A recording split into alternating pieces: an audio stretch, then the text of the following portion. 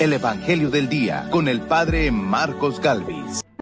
No comprendieron nada porque un velo les ocultaba el rostro. En el nombre del Padre y del Hijo y del Espíritu Santo. Amén. El Evangelio del Día con el Padre Marcos Galvis. Sean bienvenidos, amados hermanos, a la meditación de la palabra de Dios, Evangelio de San Lucas, capítulo 9, versículo 43. Hoy Jesús nos va a mostrar qué tan equivocados estamos en la vida. ¿Qué error estamos cometiendo nosotros cuando nos dejamos endulzar el oído con palabras bonitas? Cuando buscamos solamente a aquellas personas que nos hablen bien, aquellas personas que nos aplaudan, aquellas personas que nos digan lo bueno que somos. Qué equivocados estamos en la vida. Hoy Jesús quiere que ustedes y yo nos quitemos ese velo que cubre nuestro rostro y nos aparta del dolor, del sufrimiento, de la fatiga, del trabajo, de los insultos, de los malos tratos. Evangelio de San Lucas capítulo 9 versículo 43. Oído al tambor, paren la oreja. Los buenos somos más. Y llegó la hora de evangelizar. Lectura del libro del profeta Zacarías. En aquellos días levanté los ojos y vi a un hombre con una cuerda de medir en la mano. Le pregunté, ¿a dónde vas? Él me respondió, voy a medir la ciudad de Jerusalén para ver cuánto tiene de ancho y de largo. Entonces el ángel que hablaba conmigo se alejó de mí, y otro ángel le salió al encuentro y le dijo, Corre, háblale a ese joven y dile, Jerusalén ya no tendrá murallas debido a la multitud de hombres y ganados que habrá en ella. Yo mismo la rodearé, dice el Señor, como un muro de fuego, y mi gloria estará en medio de ella. Canta de gozo y regocíjate, Jerusalén, pues vengo a vivir en medio de ti, dice el Señor. Muchas naciones se unirán al Señor en aquel día ellas también serán mi pueblo y yo habitaré en medio de ti. Palabra de Dios. Te alabamos, Señor. Al salmo responderemos todos. El Señor será nuestro pastor. Todos el Señor será nuestro pastor. Escuchen, pueblos, la palabra del Señor. Anúncienla aún en las islas más remotas. El que dispersó a Israel lo reunirá y lo cuidará como el pastor a su rebaño. El Señor será nuestro pastor. Porque el Señor remidió a Jacob y lo rescató de las manos del poderoso. Ellos vendrán para proclamarlo al monte Sión y vendrán a gozar de los bienes del Señor. El Señor será nuestro pastor. Entonces se alegrarán las jóvenes danzando, se sentirán felices jóvenes y viejos, porque yo convertiré su tristeza en alegría, los llenaré de gozo y aliviaré sus penas. El Señor será nuestro pastor. Aleluya, aleluya. Jesucristo, nuestro Salvador, ha vencido la muerte y ha hecho resplandecer la vida por medio del Evangelio. Aleluya. El Señor esté con todos ustedes. Mis hermanos, les anuncio la buena noticia de nuestro Señor Jesucristo, según San Lucas. Gloria a ti, Señor. En aquel tiempo, como todos comentaban admirados los prodigios que Jesús hacía, éste dijo a sus discípulos, Presten mucha atención a lo que les voy a decir. El Hijo del Hombre va a ser entregado en manos de los hombres. Pero ellos no entendieron estas palabras, pues un velo les ocultaba su sentido y las volvía incomprensibles y tenían miedo de preguntarle acerca de este asunto. Palabra del Señor. Gloria a ti, Señor Jesús. Amadísimos hermanos, invoquemos la presencia del Espíritu Santo sobre nuestra vida.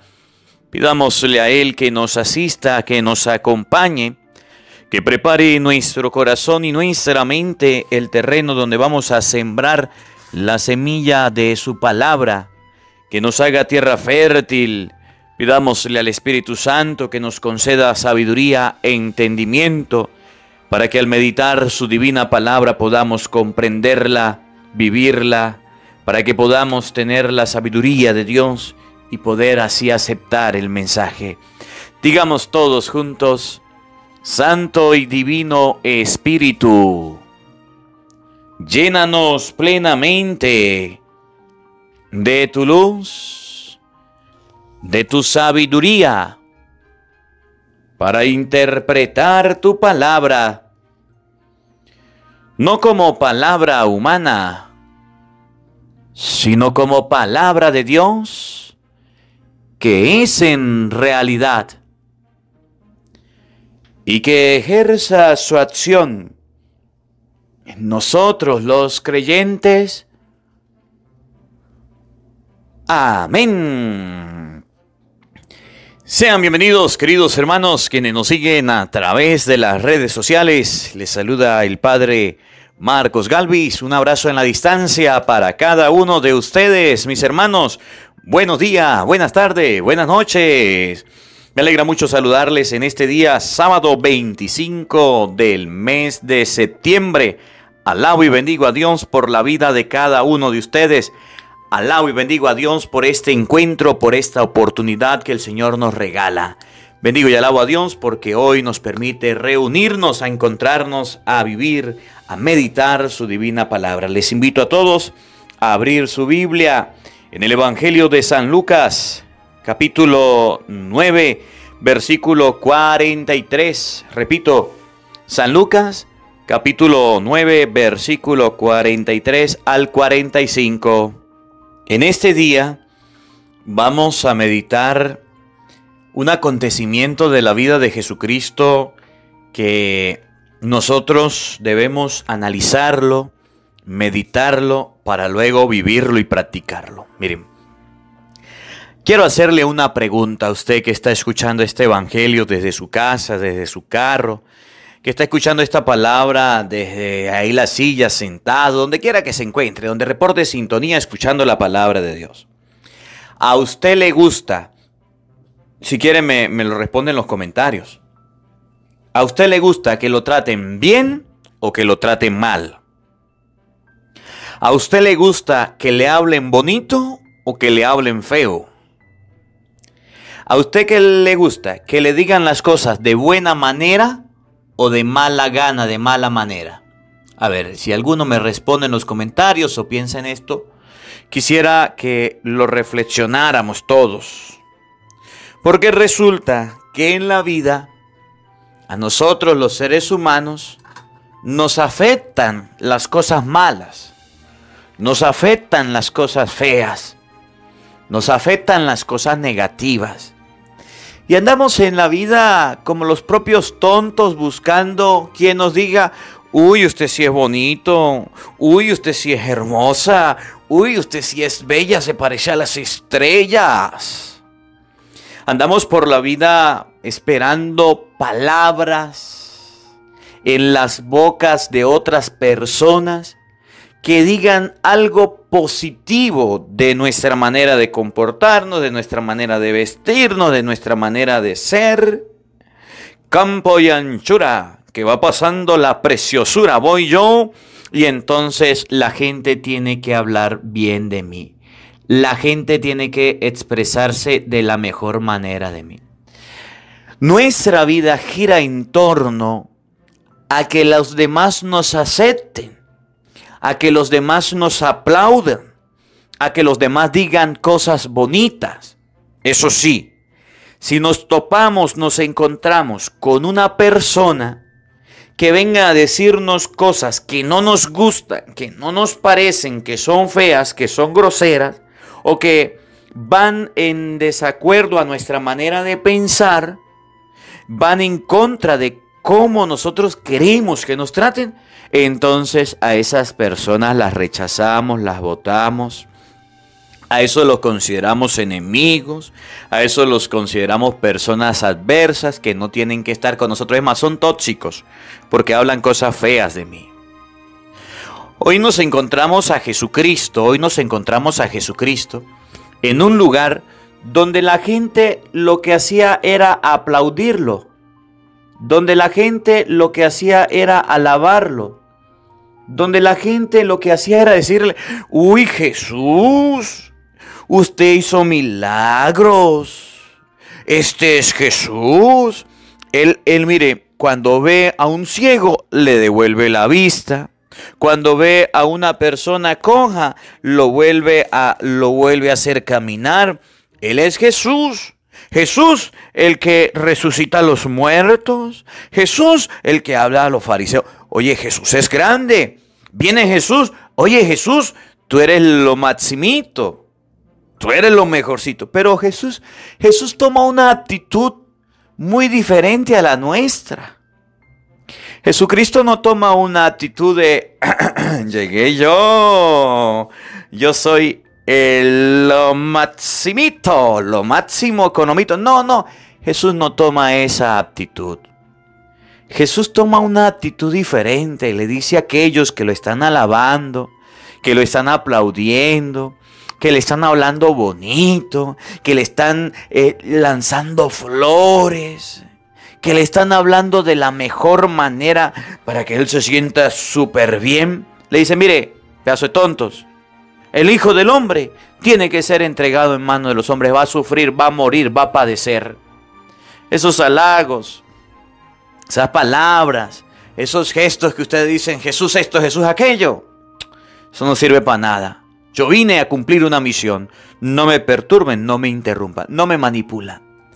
Cuando una persona nos trata bien, cuando una persona nos trata bonito, cuando una persona nos habla, eh, nos calienta la oreja, nos endulza el oído, nosotros podemos perder los objetivos podemos perder el horizonte, podemos perder el, el punto que queremos, el objetivo que pensamos lograr. Jesús no quería perder eso. Y cuando la gente quería hablarle, usted sí es grande, usted sí es poderoso, usted sí tiene gente que lo sigue, vamos a hacer esto, vamos a hacer aquello. Eso le un momentico, un momentico. Mire, esa manera de pensar no es de Dios. Yo tengo un compromiso y mi compromiso es mm, padecer, y ser crucificado y resucitar al tercer día, morir en manos de los hombres. Pero bueno, inclusive un día cuando Pedro, cuando Pedro por allá, usted lee por ejemplo en San Mateo capítulo 16 del versículo 18 en adelante. Jesús se llevó a Pedro, él le preguntó a los discípulos, ¿quién dice la gente? Tú eres esto. ¿Quiénes dicen usted? Eres el Mesías. El Hijo del Hombre tiene que padecer. Y Pedro le dijo, venga para acá Jesús. No lo permita Dios. ¿Cómo se le ocurre a usted con tanto poder, con tanta grandeza, va a padecer? Y Jesús le dijo, apártate de mí, Satanás. porque piensas como los hombres, porque tu manera de pensar no es cristiana.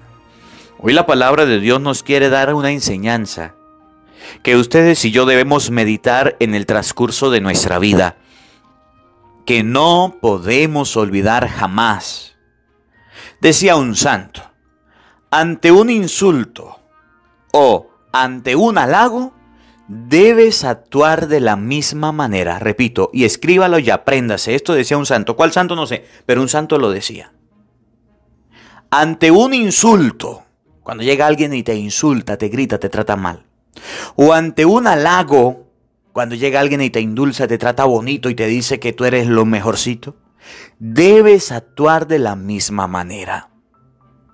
Nosotros, nosotros, estamos acostumbrados a actuar de una manera positiva o de una manera favorable para con aquellas personas que nos hablan bonito, que nos hablan bien, y entonces a veces cumplimos caprichos de personas que nos hablan bonito y que nos hablan bien.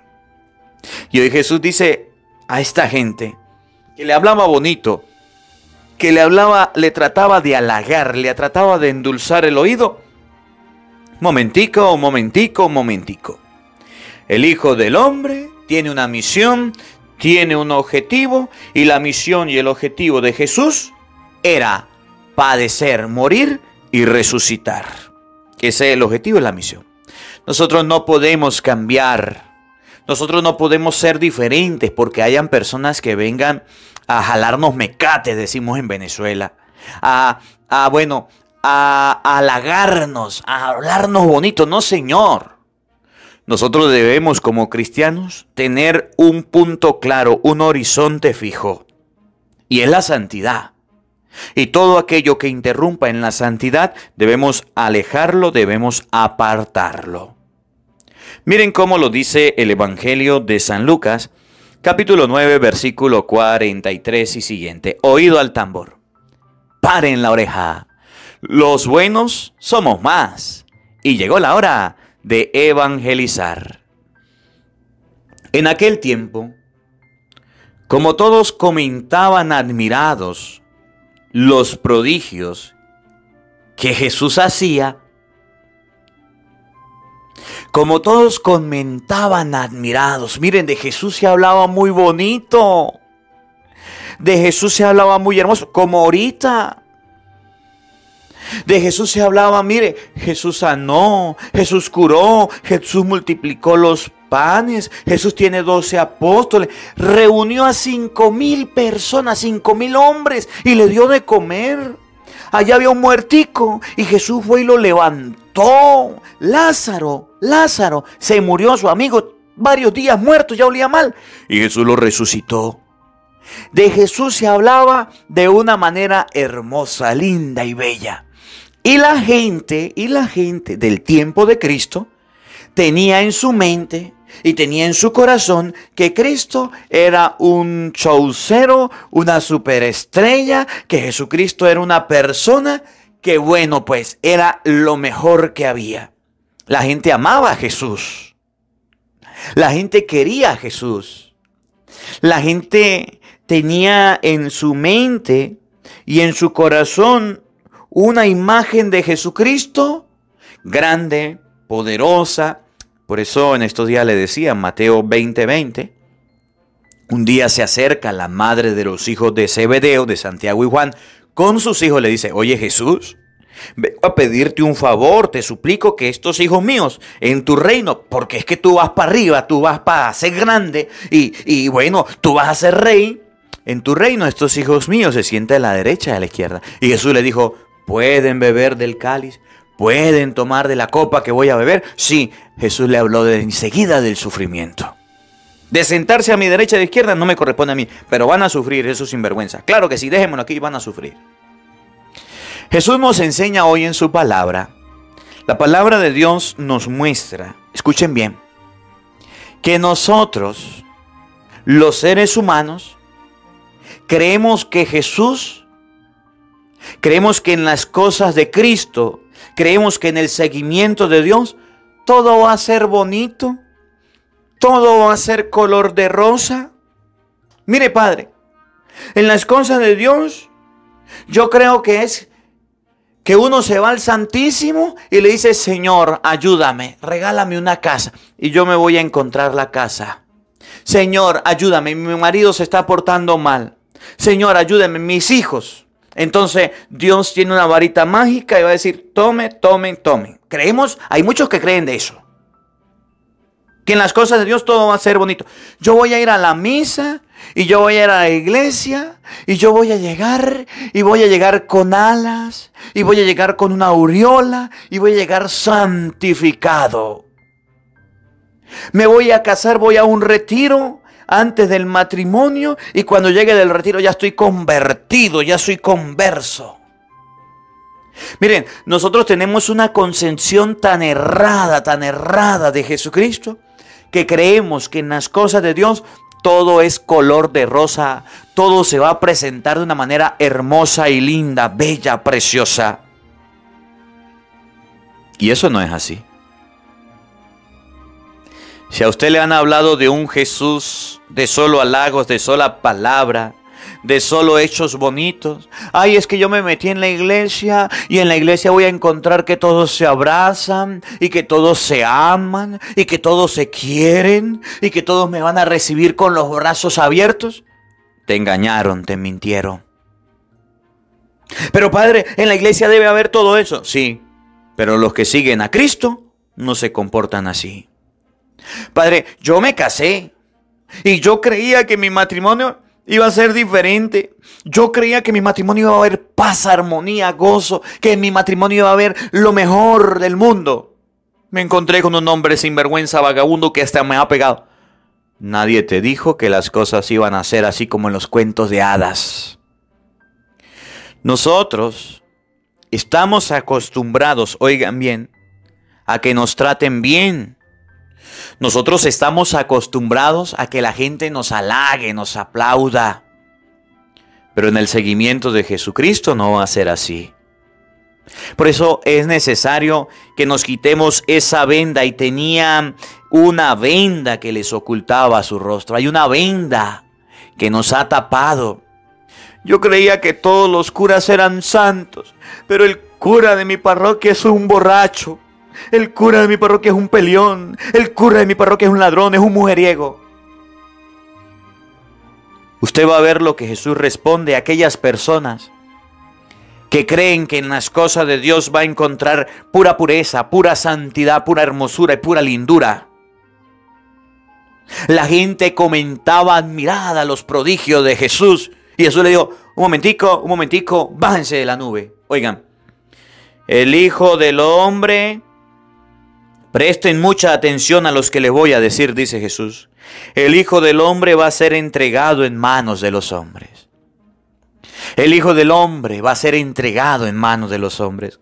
Eso que ustedes dicen que va, va, a haber grandeza, va a haber poderío. Eso que usted dice que todo va a ser bonito en las cosas de Dios, color de rosa. En las cosas de Dios, que no van a haber gente que te critique, que te mire feo, que te trate mal, que te grite, que te humille, que te insulte, que te corra. Eso que usted dice, que va a encontrar en las cosas de Dios sacerdotes super santos, santos, santos, con aureola y con alas? Eso que usted dice, eso que usted dice, que todo en las cosas de Dios va a ser, ay sí, ay con las manitos juntas, ay de la mejor manera, el Hijo del Hombre va a sufrir, va a padecer. Dentro de los caminos de Dios, en español, ¿se lo explico? Vamos a sufrir y vamos a padecer. Vamos a pasar por persecuciones, vamos a pasar por tormentos, vamos a pasar por cosas malas, feas, angustia, dolores, desesperaciones, tristeza, lágrimas. Miren, yo estudié en un seminario y el seminario se llama Seminario Diocesano Nuestra Señora del Pilar. Eso queda en Barinita, Venezuela. El que quiera puede buscar en internet y puede conocer el seminario donde yo estudié. Eh, bueno, Dios mediante pronto iremos a visitar a los seminaristas si Dios quiere, para que ustedes conozcan un poco el seminario. Y ahí en el seminario donde yo estudié, cuando yo llegué al seminario, yo creía esto, que en los caminos de Dios, que en las cosas de Dios, todo iba a ser bonito. Yo pensé que los seminaristas no tenían mal carácter. Yo pensé que los seminaristas no eran groseros, que todos nos íbamos a tratar bien. Yo pensé que en el seminario solamente iba a ser oración. Bueno, yo pensé en muchas cosas positivas del seminario. Y cuando llegué allá me di cuenta que eran hombres igual que yo, con mal carácter. Algunos llegaban tardes a las clases con irresponsabilidades. Y había alguien que se llamaba formador o varios formadores, que eran los que si usted le tocaba llegar a la capilla a las 7 y llegaba a las 7 y 5, a las 7 estaban tocando su puerta. Epa, son las 7 para la capilla.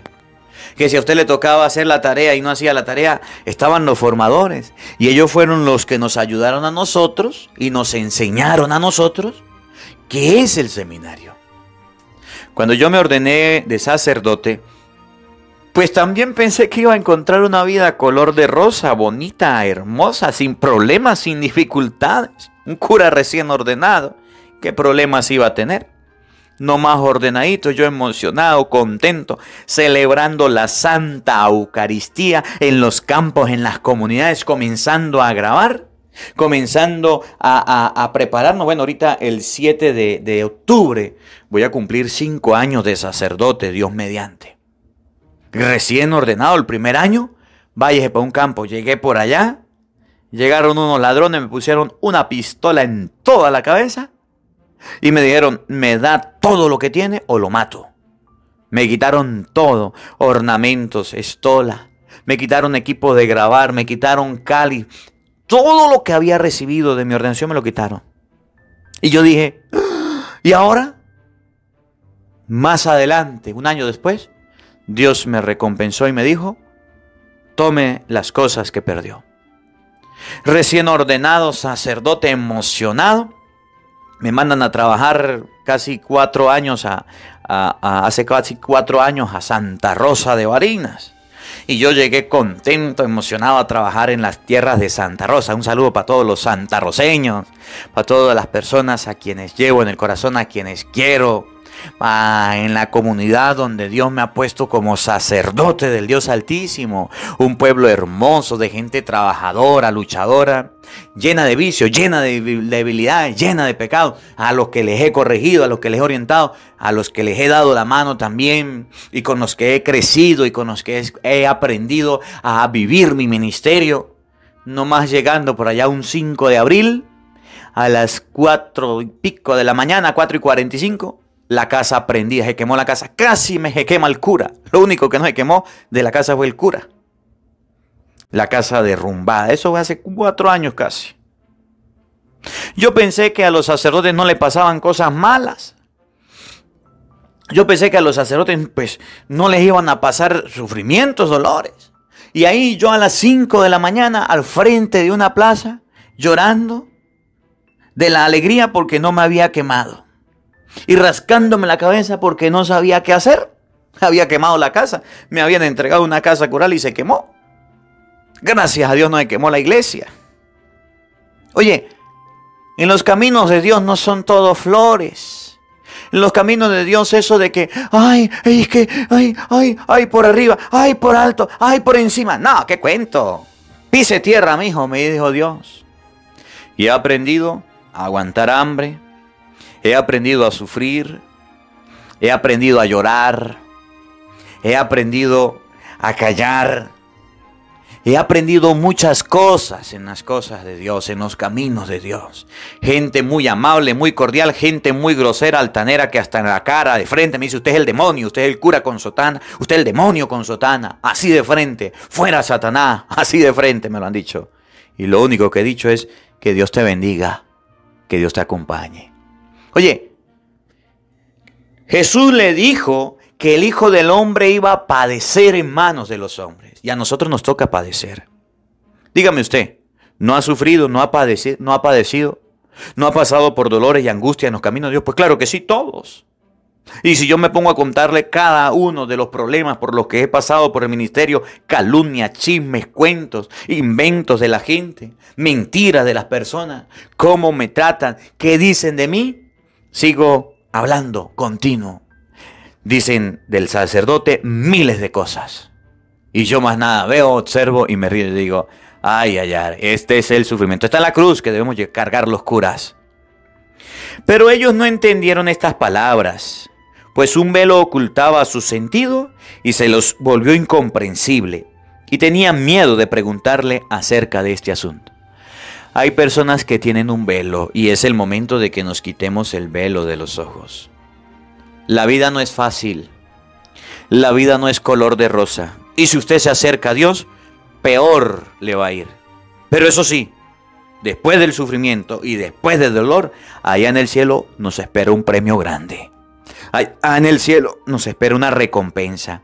Allá en el cielo nos espera un reino. Allá en el cielo nos espera un regalo. Allá en el cielo nos espera aquello que Jesús dice que ni el ojo vio, ni el oído eh, pudo oír, ni a la mente del ser humano pudo venir. Eso tan lindo y tan hermoso que hay en el cielo. Por eso seguimos trabajando. Por eso seguimos evangelizando. Por eso si tú eres cristiano, no te desanimes, no te decaigas, sigue adelante. Sea una persona con los pies sobre la tierra que se va a encontrar con seres humanos, que se va a encontrar con personas que te van a gritar, que te van a insultar, que te van a tratar mal, que te van a decir fuera de aquí, no queremos que estés en la iglesia, apártese de aquí. Pero esas personas son los que te deben dar motivos para seguir adelante. Esas son las personas que te deben animar a perseverar. Esas son las personas que te deben animar a seguir trabajando en la obra de Dios. No puedes quedarte en el suelo cuando te tumben. No puedes quedarte en el suelo cuando te caigan. No puedes quedarte en el suelo. Tú eres hijo de Dios y estás llamado a las alturas. Por eso te digo en este día que quitemos ese velo que oculta nuestro rostro. Y el velo es que todo en la vida va a ser calidad, bonito y bello. Mentira, error. El Hijo del Hombre va a padecer. Vamos a sufrir. Y ese sufrimiento que tengamos, que lo podamos vivir, que lo podamos disfrutar que podamos sentirlo y que podamos acompañar a Jesucristo allá en la cruz cuando estaba sufriendo por ti y por mí. Que la palabra de Dios habite en nuestros corazones. Amén. El Señor esté con todos ustedes. Y la bendición de Dios Todopoderoso, Padre, Hijo y Espíritu Santo, descienda sobre ustedes y les acompañe siempre. Amén. Dios le bendiga. Dios les acompañe. Les habló el Padre Marcos Galvis. Un feliz día para todos. Los quiero mucho. Nos vemos mañana, Dios mediante, a la misma hora por el mismo canal. No falten. Los esperamos. Hola, sé que te gusta oír la palabra de Dios. Por eso te invito a suscribirte en nuestro canal de YouTube, Padre Marcos Galvis. No se le olvide darle a la campanita donde vas a recibir videos, enseñanza de temas de la palabra de Dios. También vas a recibir el Evangelio del día. Luego puede darle me gusta a nuestra página en Facebook, Padre Marcos Galvis, y también nos puede seguir en Twitter, Padre Marcos Galvis. Estos enlaces los encontrarás en la descripción del video.